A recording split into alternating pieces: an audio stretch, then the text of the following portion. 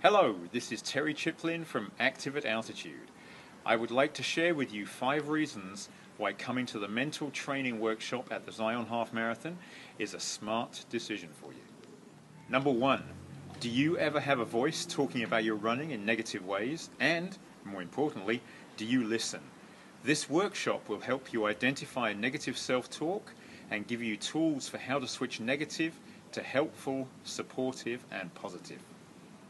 Number two, do you set out for success while expecting and anticipating failure?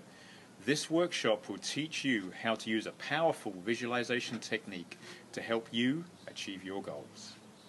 Number three, do you have a race strategy for the Zion Half Marathon?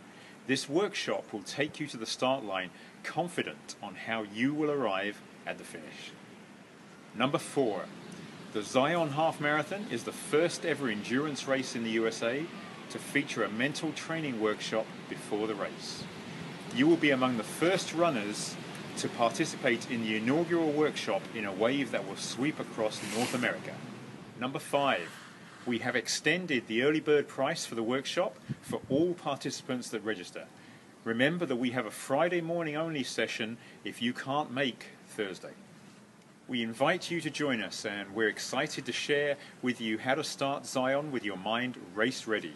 To find out more about this unique and exciting workshop, visit www.activemindracecamps.com and select Zion Half Marathon.